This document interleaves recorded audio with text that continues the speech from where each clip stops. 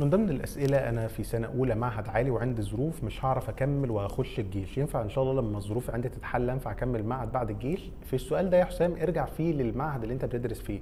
قول لهم إن أنا عندي ظروف أنا خلصت سنة أولى وهبدأ آه، يعني خلاص هتفصل عن ال- المعهد وهدخل الجيش وبعدين أرجع لكم. بس خلي بالك أنت بعد ما تتفصل هتر- هترجع مثلا الجيش ممكن تاخد سنتين لغاية لما ترجع لهم. فخلي بالك أنت ممكن تدخل في ثلاث سنين. هل ده بالنسبة لهم متاح؟ ده تتأكد منه في المعهد. في بعض المعاهد تقول لك لا تمام.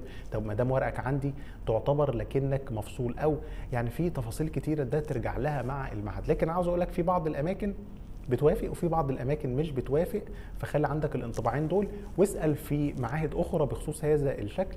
خلي بالك أنت في سنة أولى غير خلصت سنة أولى. لو أنت في سنة أولى ما بتتحسبش سنة أولى لو أنت خلصت سنة أولى بتتحسب سنة أولى. فأنت في فرق ما بين ده وده يا حسام. وفي النهاية ارجع للمعهد لأنه هو اللي هيدلك على المعلومة الصحيحة وربنا يوفقك إن شاء الله ويكتب لك كل خير.